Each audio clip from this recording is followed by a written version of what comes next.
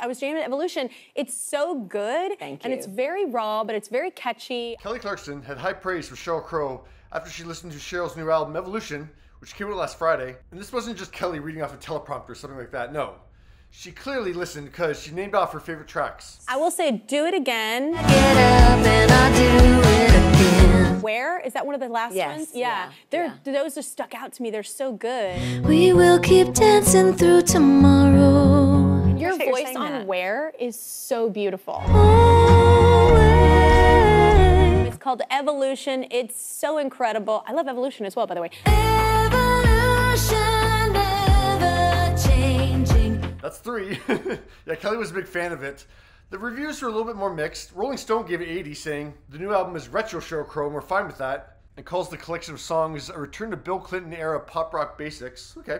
So the album asks a lot of questions. I mean, it sounds like a heavy album, but it's not. It's really a fun album. All Music agrees, also giving it 4 to 5, saying it's filled with sunny hooks, busy rhymes, and relaxed rhythms. Evolution is a good time whose cheerfulness camouflages its vaguely deeper undercurrents. I think that you're great at that, though. You have this very beautiful gift of like going deep with the lyrics and the messaging, but making it light and fun to sing with. Pitchfork didn't like it as much. They gave it 6, saying, Three decades into her career, Sheryl Crow is arguably a genre unto herself. Her new album sometimes makes her singular appeal feel generic. That's interesting.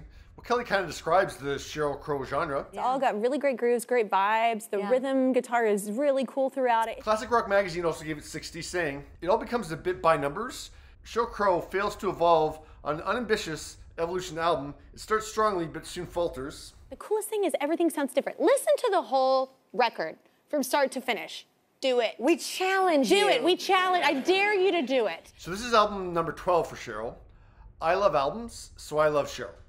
Yeah, she had an incredible run of albums at the beginning of her career. So Tuesday Night Music Club, Sheryl Crow, Globe Sessions, Come On Come On, amazing four albums. Yeah, perfect. She faltered with Wildflowers a little bit, then back to fantastic with Detours. Hope for Christmas, awesome.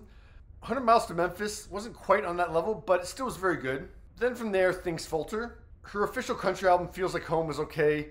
I did not get into Be Myself at all. That's her weakest album for me. And then she said she was wrapping it up with Threads, her final album. It was all collabs and it was fantastic. Yeah, so she ended on a very, very strong note. And I was fine with her not doing another full album because, I mean, yeah, she's given us eight fantastic albums. Um, yeah, so when she announced this one, this felt like a bonus to me. On a first listen, meh. I really like Love Life. I love this life. Yeah, Where is pretty. The rest of it, like nothing's terrible. It's just like, yeah, it's all meh. Um, yeah, nothing really grabbed me. It's all just kind of very like, kind of background noise. And some of the songs reminded me of other Sheryl Crow songs that I like a lot more. That's why I hate my alarm clock. That's why I hate my. Yeah, I didn't really need this album. Um, that being said, this doesn't take away from Sheryl at all. Sheryl's a legend. Yeah, she's she's done all the, everything she needs to do. Other than Love Life, these eight songs don't really need to be added to the Sheryl Crow library for me. I'm gonna give this album a C plus. But yeah, Kelly really liked it. What are your thoughts? I love your lyrics so much. Thank you. Yes.